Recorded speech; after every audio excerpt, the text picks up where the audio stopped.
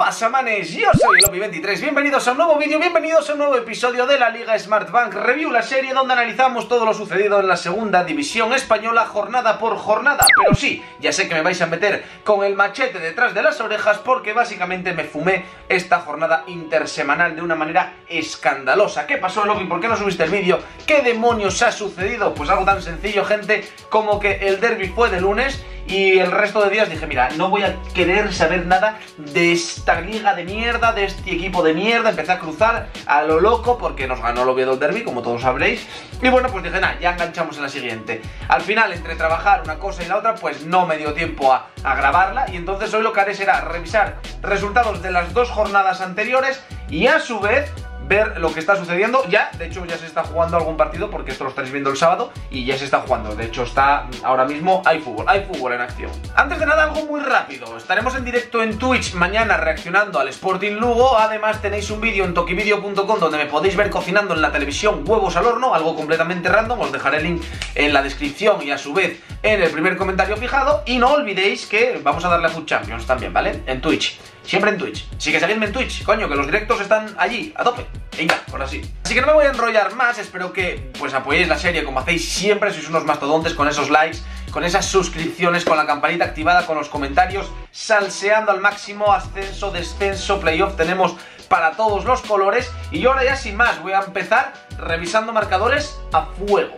Arrancaremos por la jornada número 34, que fue la del derby del Sporting, donde encontramos Elche 1, Girona 0, una victoria muy importante para el Elche, Depor 3, Rayo Vallecano 3, partido de locos, Zaragoza 0, Almería 2, más adelante no entenderemos muy bien el porqué, o si tú eres de la Almería tal vez puedas pues, iluminarnos, han echado a Guti, ¿vale? O sea, espectacular. Las Palmas 1, Lugo 0, Málaga 1, Extremadura 1, Racing 1, Tenerife 2. Pinta feo el Racing, ¿eh? Pinta ya muy, muy feo. Andes 1, Ponferradina 2, Cádiz 1, Alcorcón 1, Albacete 2, Huesca 2, Fuenlabrada 2, Numancia 0, ojo con el Numancia, y Sporting de Gijón 0, Oviedo 1.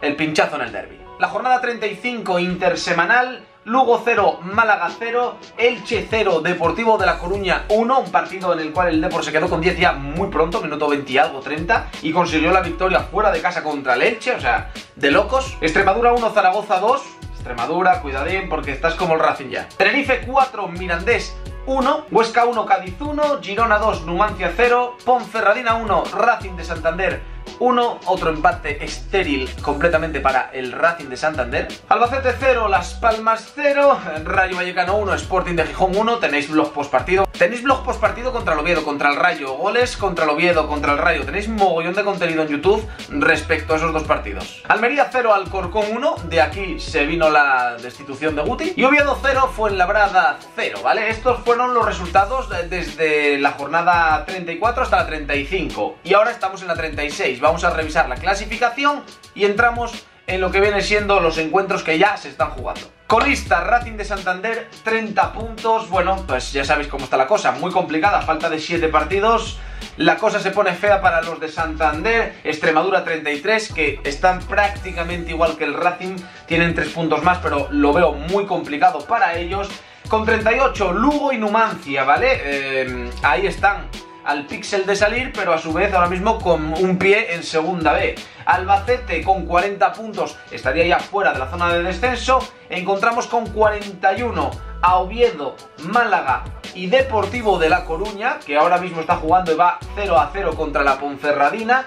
Luego tenemos con 46, hay un salto ahí bastante importante, Las Palmas, Sporting, Tenerife y Fuenlabrada con 48 Alcorcón, Mirandés, Rayo Vallecano y Ponferradina, que está jugando ahora mismo.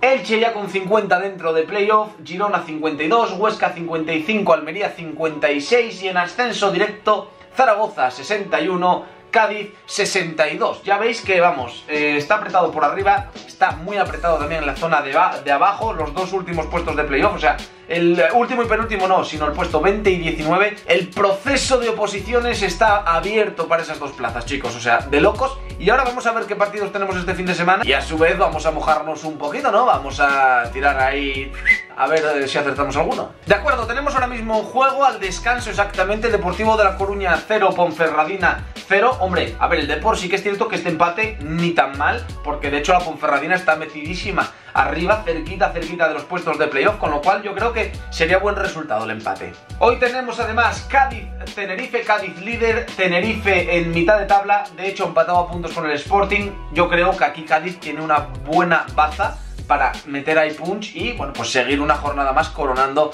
la Liga Smartbank.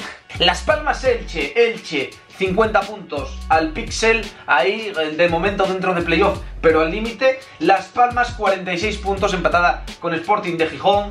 Hombre, a ver, yo aquí la verdad creo que un empate sería lo mejor. Que ni Las Palmas se nos aleje, ni el Elche siga sumando. Un empate ahí, listo. Racing de Santander, Albacete, partido a cara perro. Eh, bueno, Racing, a ver, mm, tendría que hacer un milagro para salvarse, ¿no? Tendría que enganchar una, una locura de partidos ganados. Pero si quiere de verdad intentarlo, debería empezar por hoy, ya que Albacete está ahí con 40. Yo, sinceramente, veo más factible la victoria de Albacete, pero, pero veremos. Mirandés Almería, encontramos a Almería tercero. Acaban de echar a Guti, de hecho, bueno, o sea, volaron un cuerpo técnico, llegó otro cuerpo técnico, o sea, una locura lo del jeque de Almería. Yo de verdad que va a fuego por la vida ese men, pero bueno, es lo que hay. Total, que tenemos a Almería con 56 y a Mirandés con 48. Hombre, a ver, entrenador nuevo, victoria asegurada, tiramos por ahí, pues bueno. Sporting de Gijón, Lugo, ¿y por qué llevo la camiseta de Lugo? Pues porque yo de verdad me encantaría que el Lugo consiguiera la salvación, de verdad. Eh, sería feliz si el Lugo se salvara. No quiero que el Sporting pierda, lógicamente, sería un poco de ser tonto, ¿no? Que sí, que soy tonto, que ya lo sé, pero bueno, en cualquier caso, no quiero que pierda el Sporting, quiero que se salve el Lugo. Pero lo siento chicos, eh, Lugo, amigos, necesitamos ganar. Lo primero, porque ya nos pondríamos con 49, yo creo que ahí ya más o menos la zona está tranquila. Y lo segundo, porque si queremos seguir haciéndonos tremendos pajotes mentales, pues tenemos que ganar. Pensando en playoff y cosas de estas, ¿sabes? Málaga-Girona, Girona 52, Málaga 41. Por lo mismo, Girona tiene una opción muy buena para seguir enganchado arriba y Málaga pues debería ganar si quiere pues de estar tranquilo, la verdad. Hombre, sinceramente veo mejor a Girona. Numancia, Real Oviedo, un partido a cara perro absoluto. Numancia vienen en una racha pero, pero, pero, pero, pero malísima. No sé si llevan 7, 8 partidos seguidos perdidos, ¿vale? O sea, ni empatar ni nada. Perder, solo perder. Y el Oviedo, pues está con 41. Numancia 38. Si gana Numancia, empata Oviedo. Seguramente saldría de ahí abajo en función de resultados o por lo menos, pues yo qué sé, pillaría un poquitín de, aire, ¿vale? Vería bien la superficie.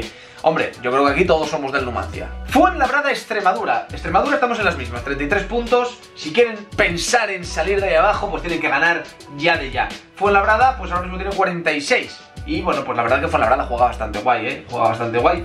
Así que lo lógico sería que ganara Fuenlabrada, pero vamos a ir con Extremadura. Alcorcón, Rayo Vallecano. Buen partido también, Rayo Vallecano. 49 puntos. Alcorcón, ahora mismo, pues 48. Están ahí, ahí los dos, más o menos cerca, un puntito, los dos opciones de playoff. Bueno, más o menos ya salvándose, entre comillas, un empate y ya está, ¿no? Y Real Zaragoza, Huesca, partido a cara perro, además ahí hay, hay pique, ¿eh? hay pique del bueno entre Zaragoza y Huesca. Zaragoza 61, Huesca 55. Impredecible, ¿no? A ver, vamos a tirar por Zaragoza por ser locales y, y porque están, digamos, empujando para el ascenso directo, pero vamos, que yo creo que aquí puede pasar cualquier cosa. Y nada más gente, así está la Liga Smartbank. Es que es una auténtica locura. Tenemos al Elche con 50 puntos en playoff, Numancia con 38, 12 por debajo en descenso. O sea, en cuatro partidos hablamos de estar en playoff a estar en descenso, joder, en 12 puntos. Y por medio, una puñetera locura todo. El Sporting dejando pasar trenes, ¿vale? Porque es que si no lo digo pronto, dejando pasar trenes para engancharte arriba, dejando pasar trenes, dejando pasar trenes, al final... Nada, nada. Espero que os haya gustado el vídeo, gente, de verdad que os agradezco muchísimo sus likes, sus suscripciones, los comentarios, todo lo que sea apoyar. Os recuerdo que estamos en Twitch dando un mogollón de caña en directos y en todo. De hecho, tendremos la reacción, eh, como ya os comenté, mañana del eh, Sporting Lugo. Y nada, que nos vemos en próximos vídeos, números uno. ¡Chao!